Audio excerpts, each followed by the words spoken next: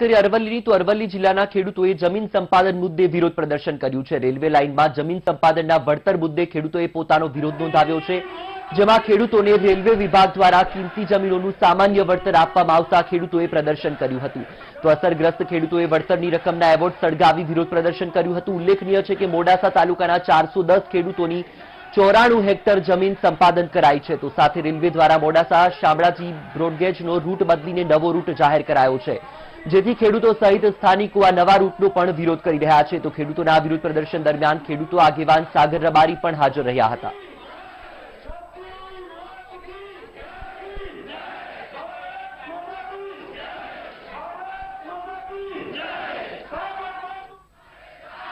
અમારા ગામમાં જ પાછળ, અમારા ઘરથી જ સિત્તેર ફૂટ દૂર રેલવે જાય છે. તો એ રેલવેથી અમને પણ અમારા ઘર પણ છોડવું પડશે, એવી અમારી જમીન પણ જાય છે પણ અમારે અમારે ઘર પણ જતું રહેશે. કારણ કે સિત્તેર ફૂટ જો દૂર ટ્રેન જશે, તો અમને ચોરીની, લૂંટફાટની અને પ્રદૂષણની અનેક સમસ્યાનો ભોગ બનવું પડશે. અને લીધે અમને અમારું ઘર એક જગ્યાએથી બીજી જગ્યાએ સ્થળાંતર કરવું પડશે. જો સરકાર અમને જમીનની વળતર આપશે, પરંતુ અમને એક જગ્યાએથી બીજી જગ્યાએ સ્થળાંતર કરવું પડશે, તો એનું કોણ અમને વળતર આપશે? કોણ એનો પછી અમને જવાબ આપશે?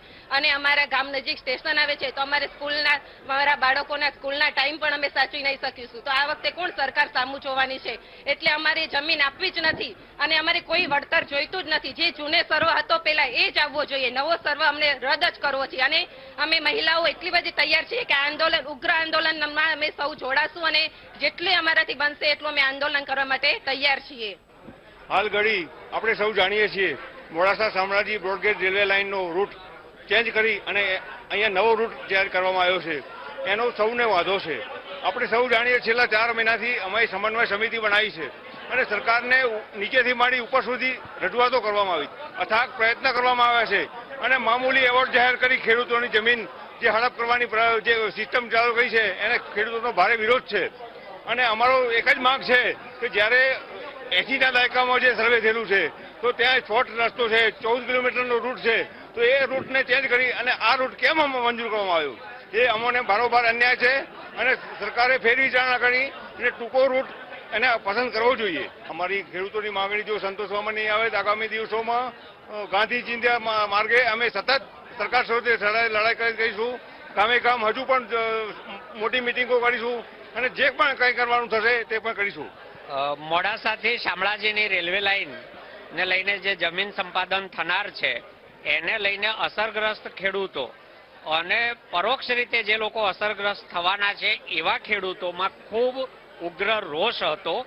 અગાઉની એક મિટિંગ થઈ, એ પછી ગઈકાલે બાઇક પ્રવાસ થયો.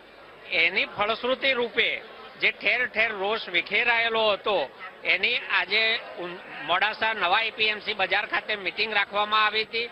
ખેડૂતો ખૂબ મોટી સંખ્યામાં ઉપસ્થિત રહ્યા અને સરકાર તરફથી એમને કોઈ પણ પ્રકારની જાણ કર્યા વગર જબરજસ્તીથી થાંભલા નાખવામાં આવ્યા અને એવોર્ડ જાહેર કરવામાં આવ્યો. એ એવોર્ડની આજે ખેડૂતોએ પોતે હોળી કરીને પોતાનો જે ઉગ્રતમ વિરોધ છે એ સરકાર સામે દર્શાવ્યો છે. આવનારા દિવસોમાં જો સરકાર આ નિર્ણય પર ફેરવિચાર ના કરે, તો આ કરતા વધારે ઉગ્ર કાર્યક્રમો ખેડૂતો તરફથી અપાશે અને સરકારને ફરજ પાડવામાં આવશે કે એમણે જે મૂળ રૂટ બનાવ્યો હતો, એના ઉપર જ રેલવે ટ્રેક લઈ જાય, આ આખી સંપાદનની પ્રક્રિયા રદ કરે.